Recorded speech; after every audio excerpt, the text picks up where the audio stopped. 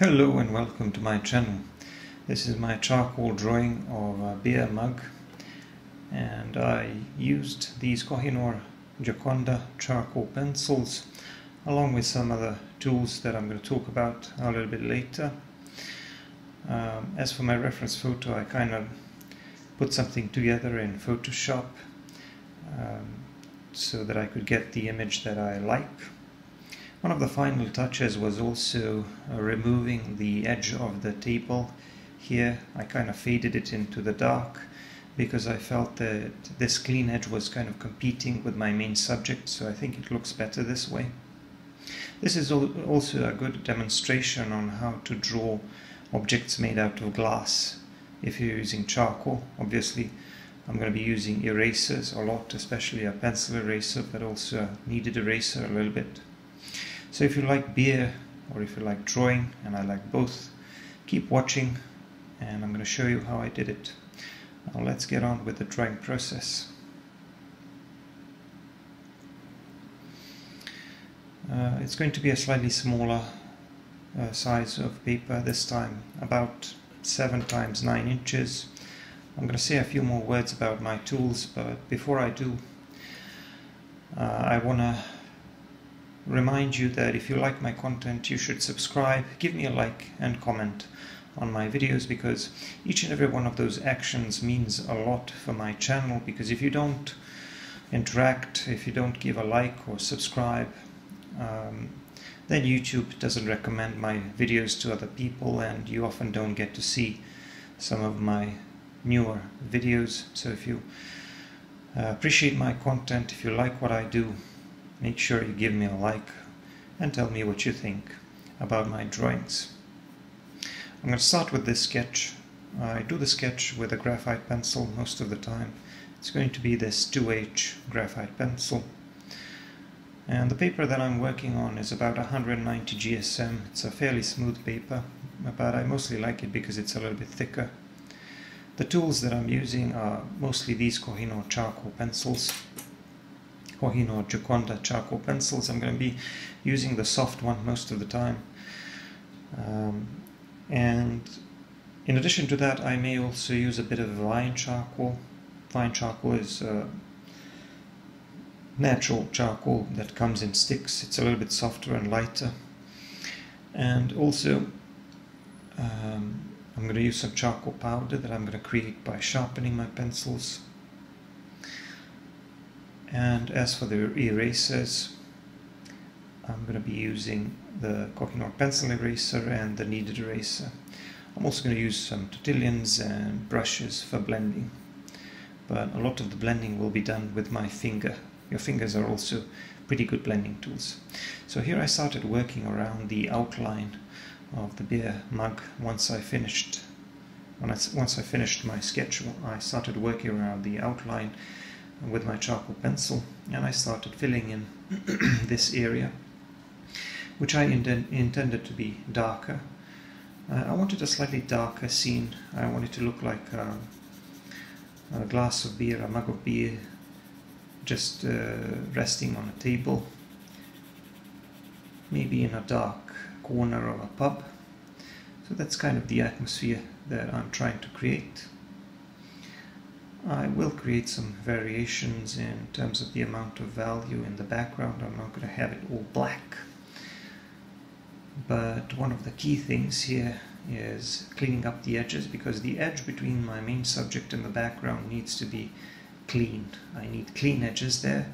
Some of the edges on the main subject uh, are not going to be clean. That depends on the shape of the object that I'm drawing but the edge between the background and the main subject has to be clean. So this is kind of like a still life type of charcoal drawing. And why not use this object for my still life drawing? I, uh, like I said, I like beer and I like drawing, so why not combine these two? So I started working on the background first with my charcoal pencil, but then I wanted to fill it in uh, a little bit more quickly and a bit more smoothly without creating any texture. So I uh, poured down some charcoal powder and I created that charcoal powder by sharpening one of my pencils and then I started spreading that charcoal powder to charcoal dust, whatever it is, to cover the background, to create that dark background. But close to the edges of the glass I had to be a little bit more careful. So I was pushing all the way to the edge of the mug carefully but trying not to go over the line, not to go over the edge. And to do this you also have to rotate the drawing, you have to rotate the paper a little bit. Otherwise you won't be able to uh, be precise enough I mean, your finger is not exactly the most precise of blending tools, but it does work. It works really well with charcoal, and you can get a really smooth, dark background.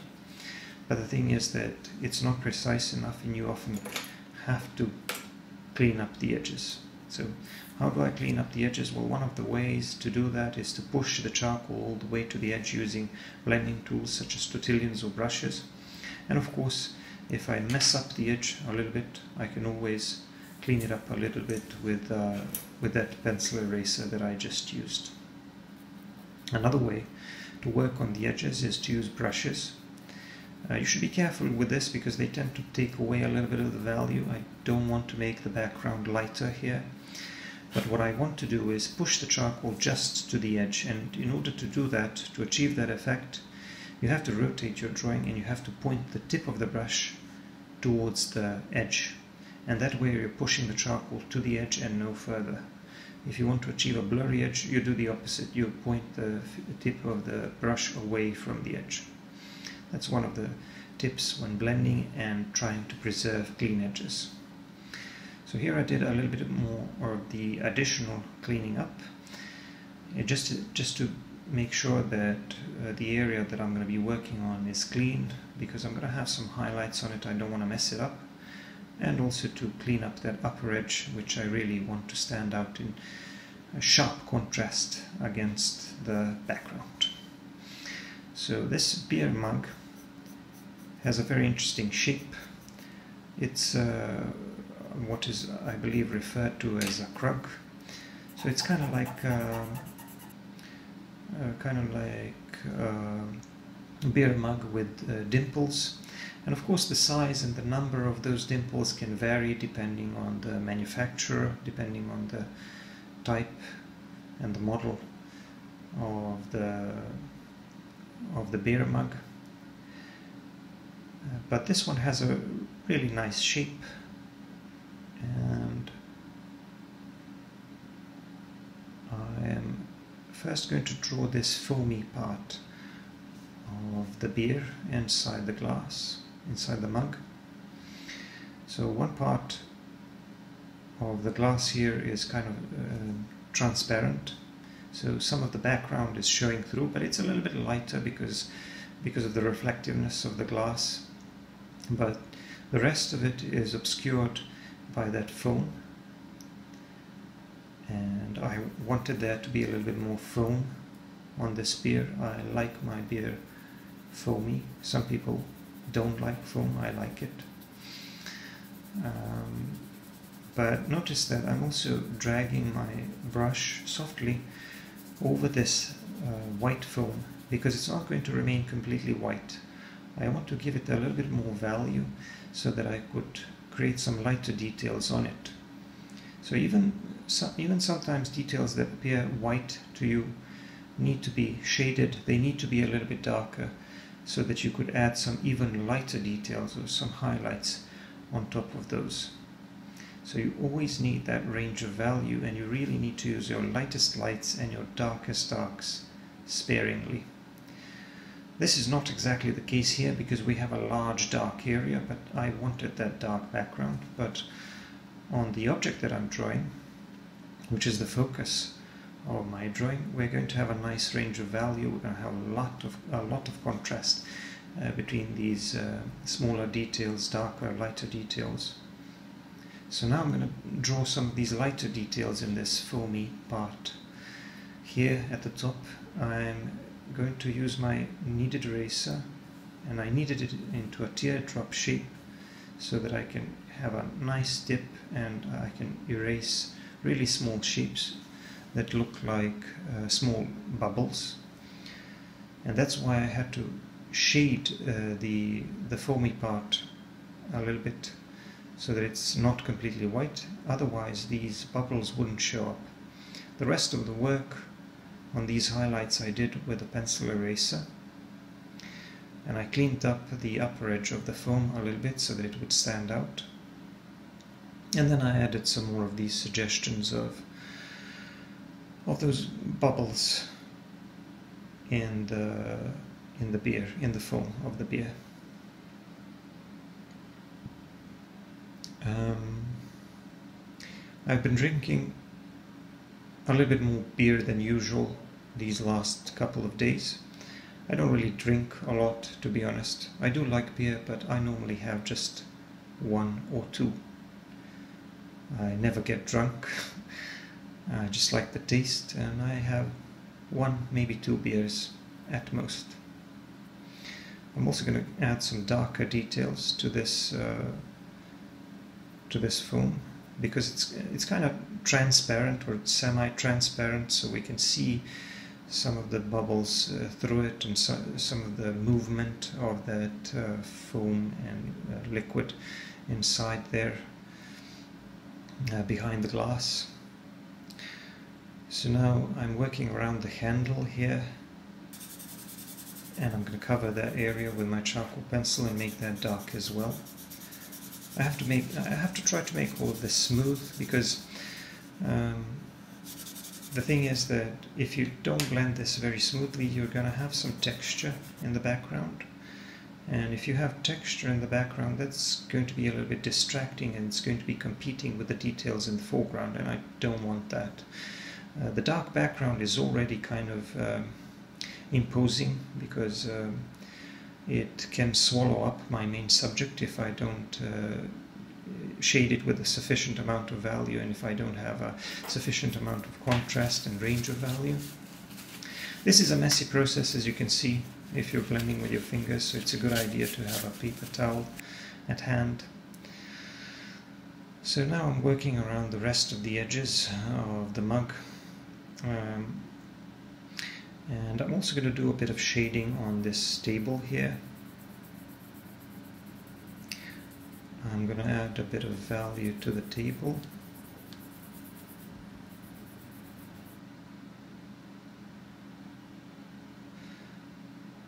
And first I'm going to go lightly.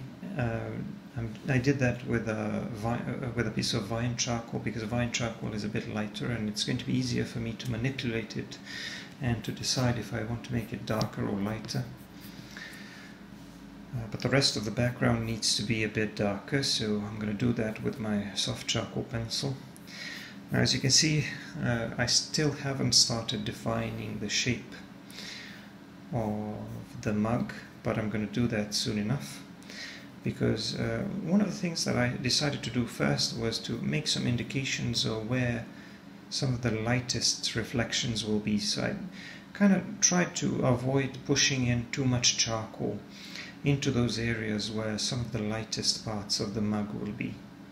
Because the thing is that this is a very um, complex um, shape complex shape made out of glass. And it's obviously going to be very reflective and we're going to have a lot of these uh, uh, lighter areas. But uh, some of them are going to be uh, lighter than the others. So you need to have that range of value some parts of those uh, highlights are going to be very light almost white. Others are going to be kind of more uh, gray or light gray. So I want to have that range of value and I want to capture that contrast. But uh, I'm, I'm going to try to keep some of these areas clean, to keep them a little bit lighter. Uh, but it's not like I can't erase later. I, I mean, charcoal can be erased, but it, the thing is that sometimes you can't uh, erase it very clean and you end up with grayish areas that are not as light or as white as you want them to be. I started with, uh, with some vine charcoal around the edges where the mug is a little bit lighter and more transparent. and I'm gonna, well not transparent, but a little bit more reflective around those areas. And I'm gonna add a bit more value here around the middle, and that's why I added a bit of um, a bit of that charcoal powder. I'm going to push that in using a combination of brushes and my fingers.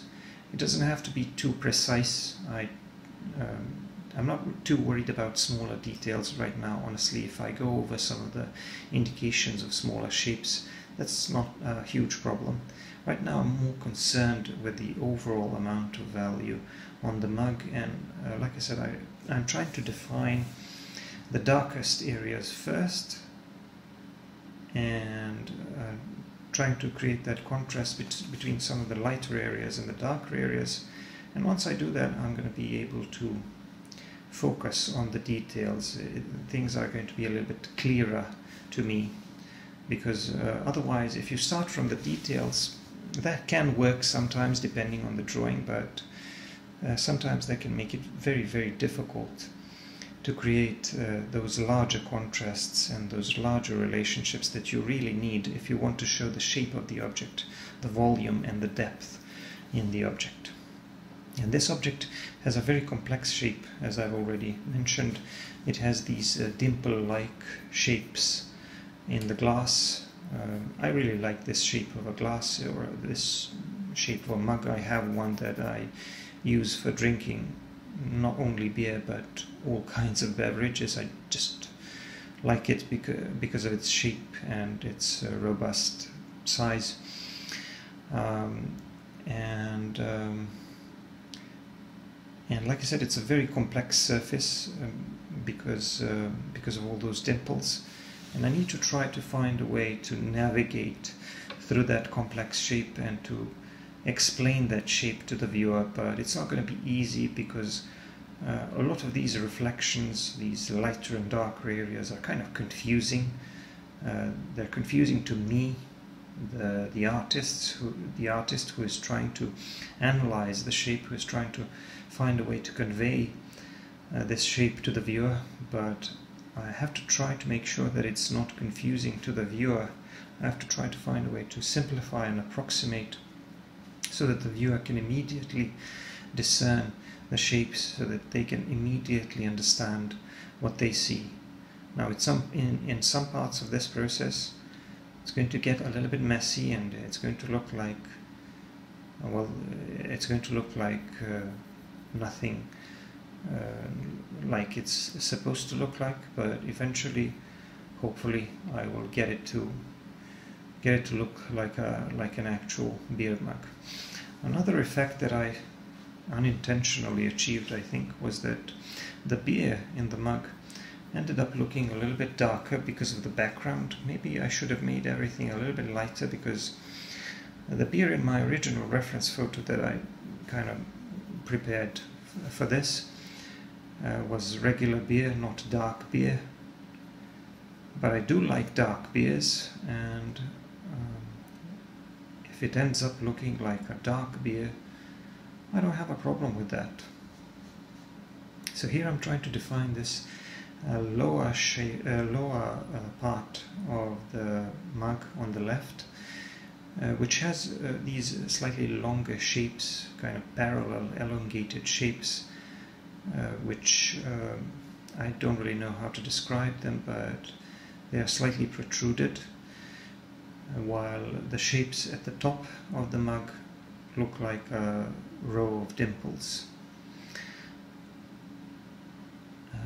so obviously the design uh, of mugs varies from one to the other and there's going to be some smaller individual differences but my goal here is to try to make this one as close to the reference that I initially studied as possible and also to make it as realistic as possible to the viewer who um, hasn't seen any references, who doesn't know what I was looking at while, what I, while I was drawing. So I'm doing a bit more blending with my finger, adding a bit more of these darker, uh, darker areas, areas of darker value, because I felt that I wanted to make it even darker. I didn't want I didn't want the background to be much darker than my main subject. And I cleaned up the edge between the beer and the foamy part of the beer at the top. And I think it looks good now. So now I'm going to be focusing most on the on this shape of the of the main part of the mug and kind of defining these dimples and I'm going to do most of this work with a pencil eraser. Um, the pencil eraser, like I said, is a Kohinoor pencil eraser which can be sharpened like a pencil. It's not quite as uh, thin or precise as Tombow Mono Zero eraser, but it gets the job done for me. And I'm going to use it to pull some of these uh, smaller highlights. Now here's the thing, uh, some of them, as I've already mentioned, need to be lighter than the others. So, so some of these highlights some of these lighter areas, uh, reflective areas, are going to be grayish. They're not going to be quite as quite white. Others are going to be almost completely white. So I need to be able to retain that contrast. And one of the ways to do that is to you, you can actually control that with your pencil eraser because if you use a clean tip, a clean pencil eraser, you can erase a lighter, whiter shape and also uh, if you use a bit more pressure you're going to remove more of the charcoal but if you just drag your pencil eraser gently over the surface, surface of the paper that you covered with charcoal then you're going to be lifting up or moving away just a little bit of that charcoal dust. And you're going to create some shapes uh, and lines which aren't as white which are a little bit more on the grayish side of the spectrum so that way, by controlling the amount of uh, charcoal that you have on your pencil eraser or how clean it is essentially, and controlling the amount of pressure and the type of your strokes, you can also control the amount of value you are creating or removing because your pencil eraser is a drawing tool. It's a drawing tool, not a correcting tool and you're using it to draw lighter lines and lighter shapes in the same way that you're using a, ch a charcoal pencil to draw darker lines or darker shapes. But this way you're doing what is sometimes referred to as negative drawing, which is basically drawing by taking, taking away the material, by removing the material, either graphite or charcoal. Basically you're removing value and you're creating lighter indications of lighter shapes. Uh, I've done most of the work on the upper part of the mug and I'm moving on to the lower part of the mug which has a slightly different shape but so far I think these reflections are looking pretty nice and already I think the viewer can discern the shapes of those dimples even though um, they are kind of being distorted uh, a little bit by all of these reflections in the dark. I added an indication of some shadow at the table uh, at the bottom of the mug and now I'm going to be working around the mug to define the outer shape before I move on to the bottom to this glass bottom of the mug which also has some confusing and complex um, reflections, but I don't really need to uh, draw it exactly as it is in real life. Uh, I, I, can just try to imitate it a little bit using uh, this, uh, using these contrasts between darker and lighter areas, and I can just try to create some indications of reflections that kind of that kind of makes sense, but they don't have to be perfect. I think that uh, this contrast that I'm achieving will be enough to captivate the attention of the viewer and trick the viewer's eye into thinking that they're looking at an object that is actually made out of glass. Uh, so I don't know how many of my viewers uh, like to drink beer or how they feel about beer. It's just a subject like any other, uh, this mug of beer. I mean, you can choose whatever you like for, for still life drawing. I think this is a very interesting object uh, if you want to practice drawing in charcoal. Um, my, I, have I tasted, I tried a lot of beers in my life. Um, I mostly drink uh, domestic, uh, locally produced beers. But um, I don't mind trying some of the foreign ones as well. Uh, I do like dark beers also. I like Guinness. It's one of the most famous ones, I guess. But from the local or the regional brands, I liked the uh, Montenegrin uh, Nikšićko dark beer. And for a while there was also uh, a Serbian beer called Dark Lion, but its production was eventually discontinued. Uh, I really liked that beer. I don't know why they stopped producing it. Uh, the uh, the regular the lighter version of this beer is uh, more popular and more established, but the dark beer was only uh, produced. It was only made for a couple of years. Actually, um, uh, I was actually friends uh, with with a guy whose wife worked in the production in the factory in the beer factory, brewery, whatever it's called. And I asked her, why did you stop making this dark beer? And she said, because only you and one more guy were drinking it. So I said, okay. I guess it wasn't that popular. But I did like it a lot. Nowadays I just drink, uh, mostly drink uh, Jelen, which means deer,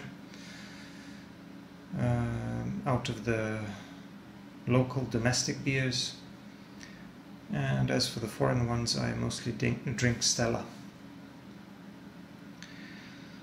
But like I said, I don't really drink very often. I just have one beer, maybe two beers per week.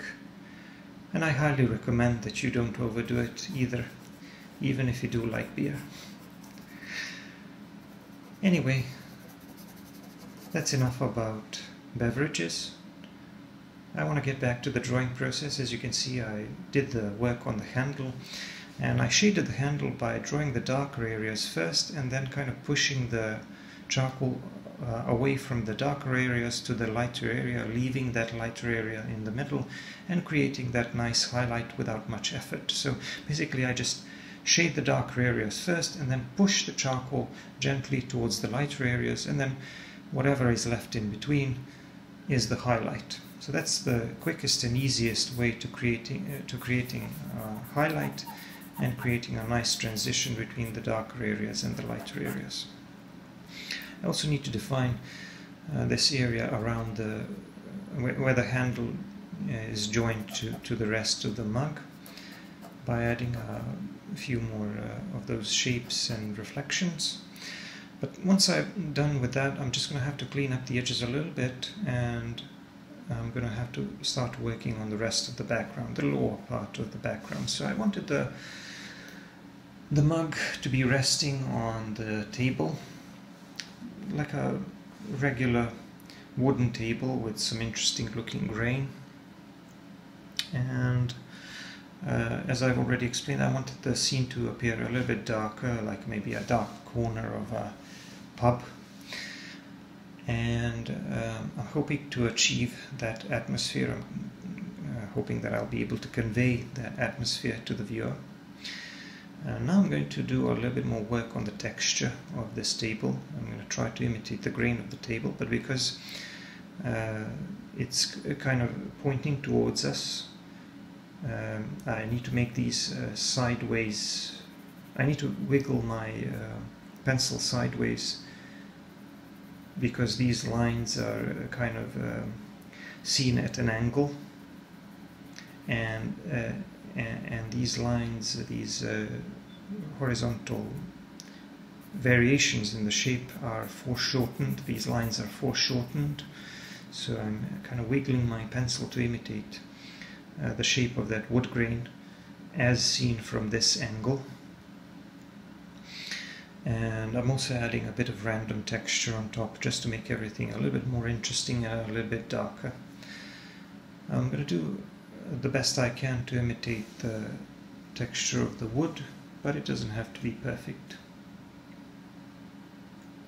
So I'm adding some highlights using a pencil eraser just to make this look a little more three-dimensional because when you have uh, those areas of darker value against standing against the, the, areas of lighter value then the viewer can start to feel like maybe something is uh, slightly raised above the rest of the surface of the table it feels or it looks like a kind of a rough surface you can almost feel like it's a rough uh, textured wooden surface and of course this grain of the wood needs to be a little bit irregular with some of these uh, lines and patterns going every which way and uh, varying a little bit in terms of their shape, uh, direction and also in terms of the spacing in between them.